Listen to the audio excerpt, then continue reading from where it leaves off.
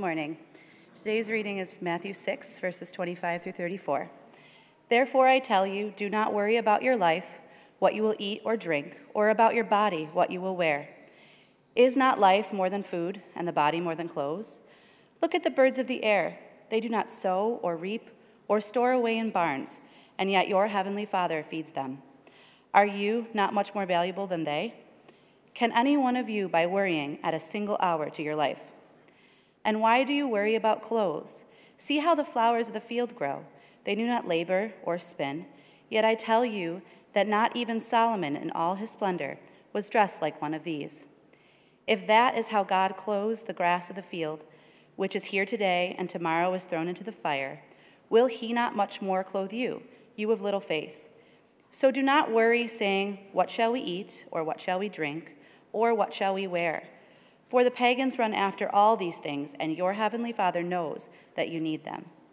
But seek first his kingdom and his righteousness, and all these things will be given to you as well.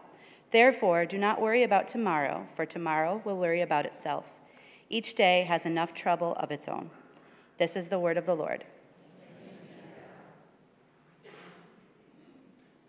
Nationwide, there are now more than 2,000 cases of coronavirus and at least 50 deaths. President Trump has declared a state of emergency, and early this morning, the House passed a major spending package to help Americans impacted by the crisis.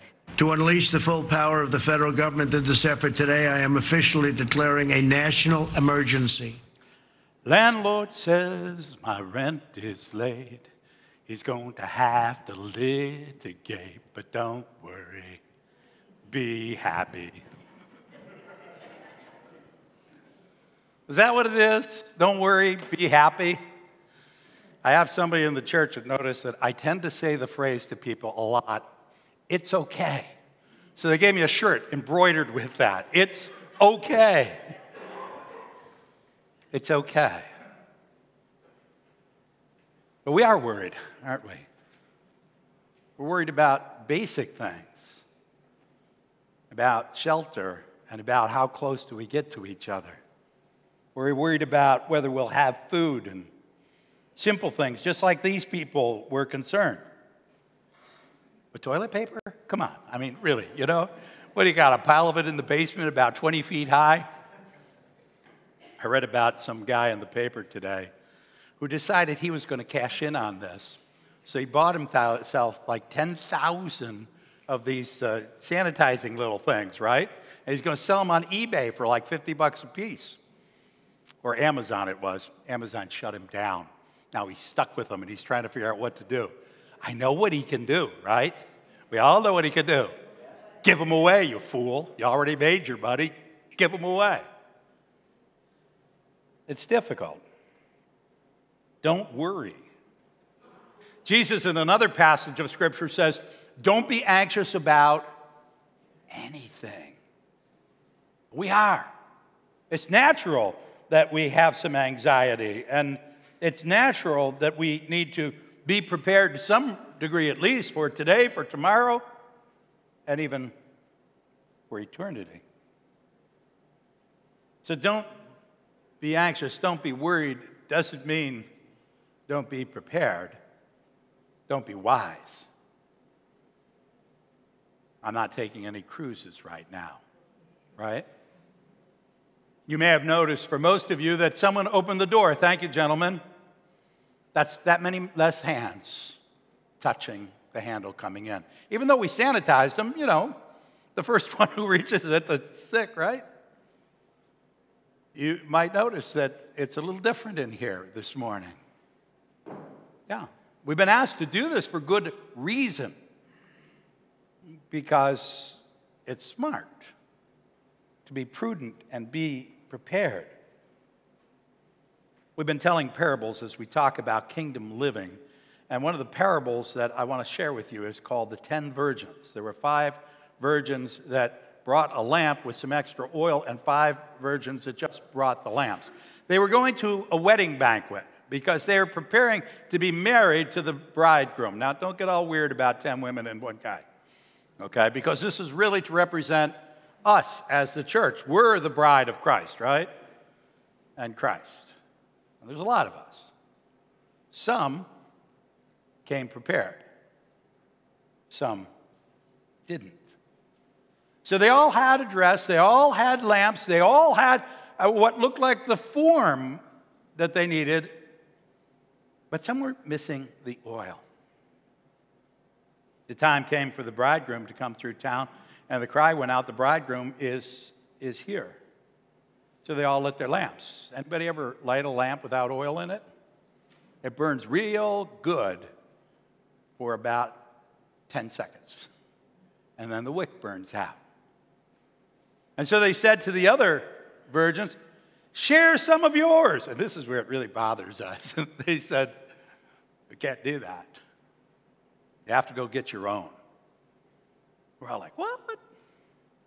But you see, the story of the passage is not about whether or not some of the virgins were greedy or not or, or, or such. We'll talk about that a little later. It's about the fact that some were prepared and some were not. Don't worry, be prepared. It's fascinating. We actually picked this passage for today back in January. Isn't that fun? It shows up today as we're going through the, the scriptures. What's the oil that you can't share with someone else, but is essential for us as Christians when we look forward to our God coming? and it's the power of the Holy Spirit. It's God living in us. It's the indwelling spirit. I, I can talk to you about what God has done in my life. I can talk to you about how God has changed me. I can talk to you about how God has changed others. I can share with you all sorts of stories, but I can't put the Holy Spirit in your heart. I can't share that oil, that power. You have to make that decision for yourself. The kingdom of God is like 10 virgins who went out, and some were prepared and some were not. In this passage in verse 33, it says, Seek first the kingdom of God and his righteousness, and the rest of life will take care of itself. Because life is more than just clothes and food. And, and, and God knows we need those. But life is more than just surviving or just existing. We inherited a, a, a double wide trailer from my in laws down in Florida. Anybody ever been to one of those retirement communities in Florida? This is how a segment of them, not all of them, but a segment of them live. They get up in the morning, and they spend about an hour drinking coffee while they think about what they're going to eat for breakfast. Then they eat breakfast and they do the dishes and they figure out how they're going to waste another hour or two before the mail comes because that is the highlight of the day. When the mail comes, they all go running through the park. The mail is here, the mail is here. It's really freaky, but that's what they do, okay? These people go nuts about the mail. They get the mail, and now they just don't know what to do at all. So they sit and they watch golf or a, or a soap opera or something while they're waiting for four o'clock. Because at four o'clock, they start drinking. And they start drinking, and they drink till about seven when they pass out and get up the next day and do it again. There's a whole bunch of people that that's what they do with their lives. That's surviving. That's not living. Now, some of you might say, that sounds like a pretty cool day. It might be a cool day, it might even be a cool week, but it's not a cool life. Because life is more than just existing. They're like the, the virgins who had lamps, but they had no oil. They didn't have the, the power in their lives that made all the difference. People chase after things. Jesus says it this way the pagans run after these things. Your heavenly Father knows you need them. Or, in other words, people who have no God in their lives, they don't have any of that sense of the Holy Spirit of God. All they do is spend their time chasing like hamsters on a wheel. after the things they are certain they have to have. Uh, there was a question about should we close church today. Have to tell you, that's something that I, I consider in prayer. And I'd like all your opinions and all your ideas, and I want to hear them. Because it's not a decision that you make lightly to shut down the opportunity for people to worship God. And it's not a consideration you make lightly to question whether you put people at risk. Do you follow? So we pray about that. We have to consider that. But you see, worship is an important piece of who we are. The very act of worship means that we have come here because we believe there's something more in life than just existing. Amen? Because if all we want to do is just exist, just survive another day, just go on a little bit longer, why would we go to worship at all? What would be the point? We come to worship because we believe that God has a dream for us that is greater than just being alive. In fact, we believe that we're not even alive if we don't have that dream.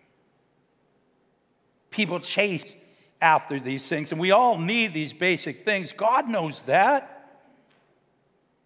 But what inspires our lives to dream, to reach for something that's greater than just getting through the day till four o'clock so that we can anesthetize ourselves for the rest of the evening. And God says that there is a dream like that. I can't imagine being the President of the United States right now. Could you? Who would ever want this job? I am, I am totally astounded. Anybody wants to be president, really. I don't ever want to be president. I wouldn't even want to think about such a thing. I wouldn't want to have to make a decision for the entire nation. It's a struggle making a decision for all of you. But we're going to have to select a president, right? We're going to have an election where we will choose who will be our leader. We've been talking about how kingdom living is not American living. And one of the difficulties we have when we are told that we need to enter into the kingdom of God, we need to seek after the kingdom of God, is we've been told as a culture kings are bad. We reject kings. We want nothing to do with that whole way of life. And yet God tells us we need to strive for that. Makes a confusion for us, doesn't it? Because Kings are not elected. Kings are not elected, they're selected. And you know who selects kings? It's not the people. There was a story in the Bible about a time when God felt the nation of Israel needed a new king because he didn't really particularly care for the king that was there at the time, a guy by the name of Saul. So he said to Samuel, the great prophet, Go down and anoint a king from the family of Jesse. So he went down and, and he saw in Jesse's family, there was a big, tall, strong looking guy, the oldest one. He said, That's got to be the guy. And God said, No, that's not the guy. And he went down all the sons that Jesse had. And God said, Nope, nope, nope, nope. And Samuel said, Is there any more? I said, Well, yeah, there's the runt who's out in the field watching the sheep, but he's the runt. You don't want him. Bring him in, let's see. And he came in, and God said, That's the one. A man after my own heart. And he anointed King David with oil. Because not only did God choose David, he then inspirited, inspired David, put the power of the Holy Spirit so that David had all the gifts that a leader of a nation needed to have. Because when God chooses someone for a purpose, he gives them every attribute needed to accomplish that purpose. Boy, what would it look like if God chose our president? Now, I like to believe when you go in to pull that lever, you don't think, what does my party say or, or, or even what does my mind say, but what does my God want me to do? I hope you pray before you go to vote, and you should all go vote. That's our system. And then maybe we can believe that God works through the hearts and minds and souls of all the people of this country to choose a leader. I don't know. I really kind of like the idea of knowing my leader was anointed, chosen, selected, empowered, and gifted by God. Wouldn't that be wonderful to actually believe that? That's what the kingdom living is about. That's what the people who lived in the kingdom believed. And that's what we're asked to do with God. Because it's not just about kings, it's about what did God create you and I for? I had a young woman who graduated recently. She was talking to me, and uh, she told me what her degree was in. And I thought, good luck getting a job. I know that. I have a history degree. You know what a history degree will get you a job in? I worked in lawn care. Yeah. It doesn't get you anything. It was actually pretty good for a pastor, but I didn't know about that or think about that at the time. And, and she was feeling discouraged. I could tell. She, was, she, she was, said she was looking for a job. Now, you know what a job is. Most of you probably worked one. A job is this you go out and you do something for money. So if somebody gave you like $3 million, you would be like walking away and not even calling the boss to let them know you're not coming in. You know what I'm talking about? That's a job. Anybody here ever work a job? I worked a job. I worked a lot of jobs. All right? When God gives us and God calls us for something, it's entirely different. Because now He has decided that He has already put in you the exact things you need to be empowered with to make that happen. And so I told this young woman, I said, God created you for a purpose. Before you were even born, I don't think anybody ever said that to her. I said, before you were even born, God looked at you and said he had a purpose for your life. She's young. You people who are young, not old like me. Even if you're old like me. Remember Moses, 80 years old? God has reason, a purpose for you. And it's not what will pay the most money, it, it's not what will make everybody around us happy. It's about what will make our lives worth living. Because we're not here that long.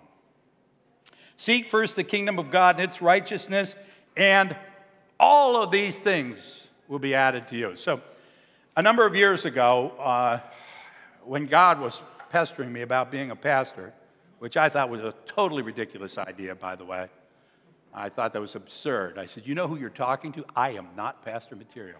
I knew that. But for some reason, he continued. So finally, I made the decision. And so, one of the things I did to prepare for going into the ministry is I took my wife out to the Adams Mark Hotel restaurant. Anybody ever been to Adams Mark? It was great. I mean, we had a gift certificate for $100, which in 1985 was real money. Okay? And we spent 130. We had a heck of a meal. Then we went, I said, let's take a walk. So we walked outside the hotel, and there was a, a, carriage waiting there. And I said, hey, Jackie, let's get in the carriage and take a ride. She said, no, no, no, Tom, that's for somebody special. The guy came around and said, Mr. and Mrs. Kraft? What's for somebody special? And we rode around downtown a little bit, and I pulled out some ruby earrings. My wife has told me I've got a proclivity for ruby earrings. But, anyways, I pulled out some ruby earrings and gave them to her. And she said, Why are you doing this? I said, Because we are going to be dirt poor for the rest of our lives. And we will never, ever, ever do anything like this again. Because God wants me to be a pastor, and I know pastors are dirt poor. So I just want you to be prepared that this is the last time we're ever going to do anything nice. It's a funny thing, isn't it? When we live into God's dream, we are absolutely convinced it can't work. We're going to be poor. Things aren't going to be right. Everybody won't be happy. I couldn't even imagine anybody would even come to hear me talk. Why would they? I was just a, a kid from Cheektowaga. What do I know about anything? But if you seek first the kingdom of God, living into what God has created you for, so that you will be anointed, you will be empowered for what it is that God made you for, everything else will fall in line. Does that mean you won't have any problems? Of course not.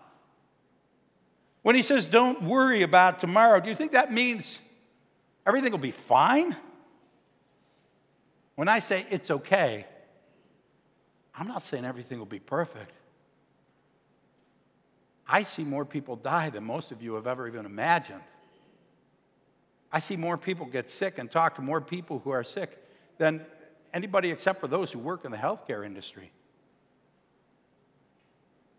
But if we get our priorities on God, the anxiety, the worry can and will diminish. I, I love this last verse in the passage. I think it's the best part of this passage, really. He says, Don't worry about tomorrow, for tomorrow will worry about itself, which sounds great, right? But then he adds in, Each day has enough trouble of its own. Why'd you say that? Oh my gosh. You see, when we worry about tomorrow, what we're doing is we're borrowing problems from tomorrow that may not even happen. Do you follow? We're creating anxieties about something that, that hasn't even happened and may not. How many of you have spent anxious moments worried about something that never, ever, ever happens? And all you did is expend tremendous energies on nothing. You're gonna have enough toilet paper. Relax. If you don't, I'll give you a roll. Really? And some people here got enough to last forever. We're going to do a toilet paper drive for the poor in about three months, man. The place will be packed with toilet paper. It's not helpful to borrow problems from tomorrow because we have real problems today. That's what he's telling us. He's not saying there aren't problems, and he's not even saying there won't be problems tomorrow. He's saying we have real problems today.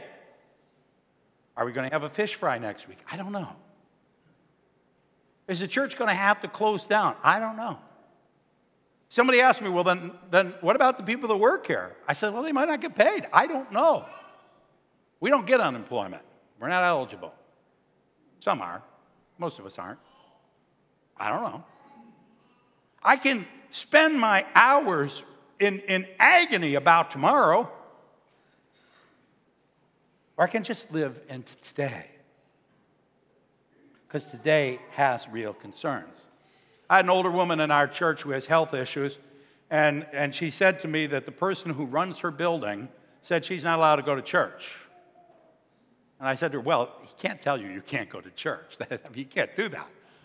I said, But you know, you probably shouldn't. Okay? She's got health concerns. She has issues that, that could cause not, not the coronavirus, but, but any, any illness could cause her a serious problem. Maybe it's not so good. Or maybe, you know, if she comes, she ought to sit way in the back, back there, like some of you are doing, and that's okay, right? I thought about putting a couple single chairs out, just, you know, people could sit completely like, you know. I get it. We have enough real problems today that we don't want to get paralyzed and stuck because we add in the anxieties about tomorrow that will freeze us.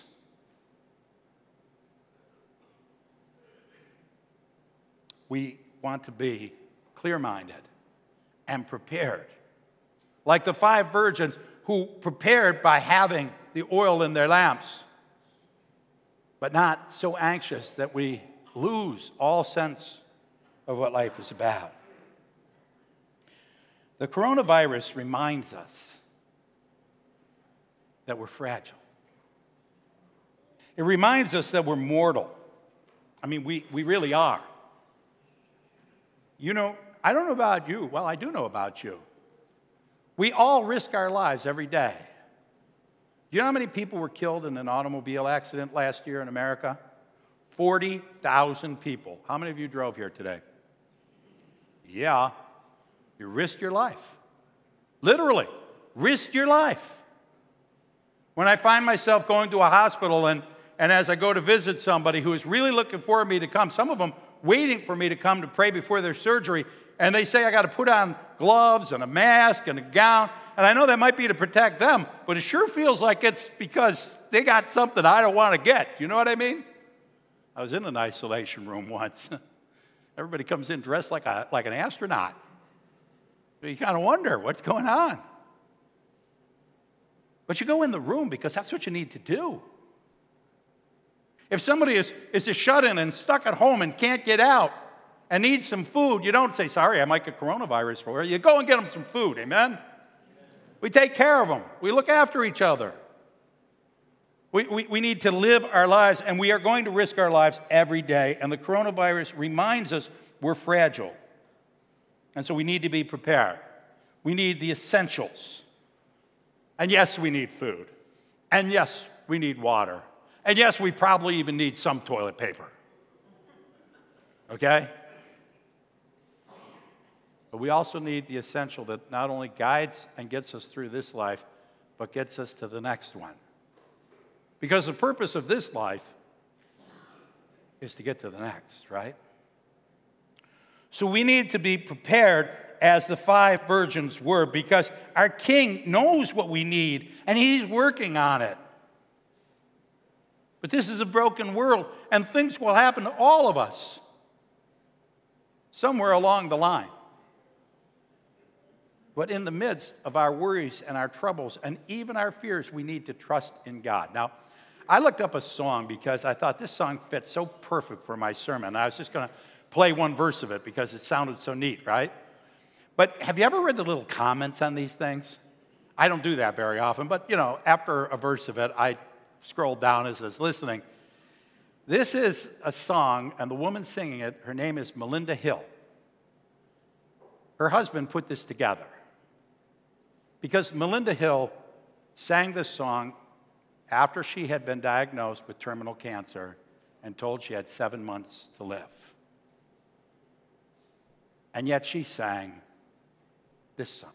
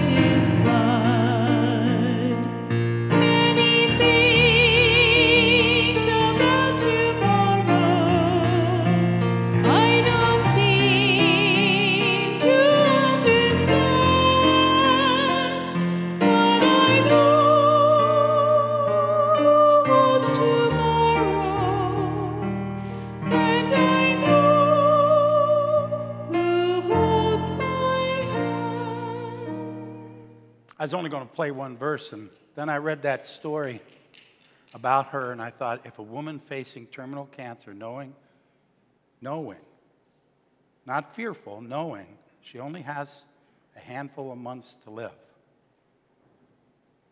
and have that kind of faith, that's a message for all of us. Are we prepared? Do we have the power of God? Do we have the living Holy Spirit welling up inside us to show us who to be, what to do, where to go, how to live, empowering us for life?